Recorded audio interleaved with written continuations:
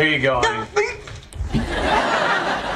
Thank you. Bruce Willis agreed to appear on Friends for free after losing a bet to Matthew Perry. Apparently, while filming The Whole Nine Yards in 2000, Matthew Perry was convinced the movie would win the box office in its opening week, so he made a bet with his co-star Bruce Willis that if the film was number one, Willis would appear on Friends for free. The Whole Nine Yards was number one at the box office in its first week and Willis donated his Friends fee to charity.